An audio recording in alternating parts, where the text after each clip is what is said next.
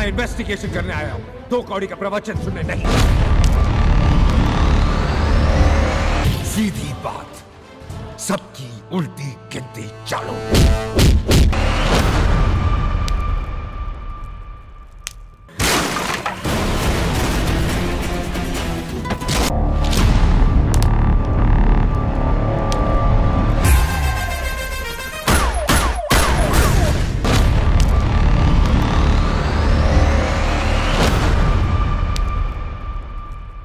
रोहित शेट्टी की cop universe में चुलबुल पांडे की एंट्री कंफर्म। सिंघम के साथ मचाएँगे धमाल। क्या चल रहा है अब बॉलीवुड में? लगता है अब बॉलीवुड वो तैयारियाँ कर रहा है, जो वो 90s और अर्ली 20s में फ़िल्में लाया करता था। फ्रेश कंटेंट के साथ नई स्टोरी। वैसे तो बॉलीवुड में कई सारे यूनिवर्स बन चुके हैं, जिनमें cop universe, spy universe, horror universe जैसे शामिल है। लेकिन सबसे ज़्यादा लोग एक्साइटेड कॉप यूनिवर्स की फ़िल्मों के लिए रहते हैं। अगर आपको कॉप यूनिवर्स के बारे में नहीं पता तो बता दें कि रोहित शेट्टी ने पूरा एक यूनिवर्स क्रिएट किया है, जिनमें वो एक से बढ़कर एक कॉप बेस्ड फ़िल्में बना रहे हैं, जिनमें सिम्बा सिंगम और सूर्यवंशी शामिल है।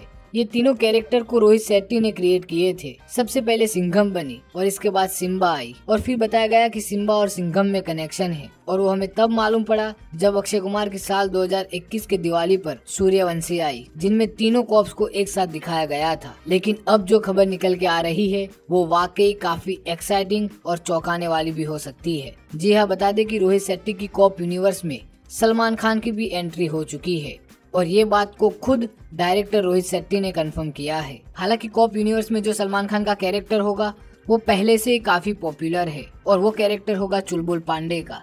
दरअसल सूर्यवंशी फ़िल्म जब रिलीज़ होने वाली थी, तब रोहित शेट्टी और कटरीना कैफ दोनों बिग बॉस में गए थे और रोहित शेट्टी ने तब सलमान खान को एक रिक्वेस्ट की थी। सलमान खान को उन्होंने कहा था कि आप मेरे साथ एक फ़िल्म करें और वो भी चुलबुल पांडे के रोल में। और तब सलमान खान ने ये कमेंटमेंट ले लिया था। और रोहित शेट्टी को कहा था कि ये मैं फ़िल्म ज़रूर करूँगा। और उसके बाद इस न्यूज़ को लेकर माहौल काफ़ी गर्म हो गया था। लेकिन डेढ़ साल हो गया।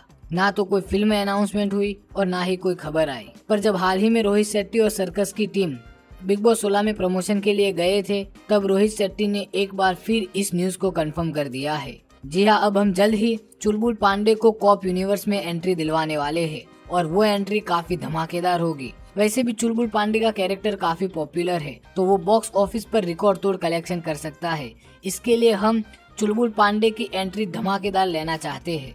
ऐसी एंट्री जो सिनेमा घरों में हमेशा हमेशा के लिए याद रह जाए। और फिर आगे खबरें आई सिंघम थ्री के क्लाइमैक्स में चुलबुल पांडे की एंट्री करवा सकते हैं। अगर ऐसा रहता है तो सिंघम थ्री बॉक्स ऑफ़िस पर सारे रिकॉर्ड तोड़ देंगे। और इसके बाद जो भी कॉप यूनिवर्स फ़िल्में आएगी, वो सारी फ़िल्में हद से ज़्यादा अच्छी होगी।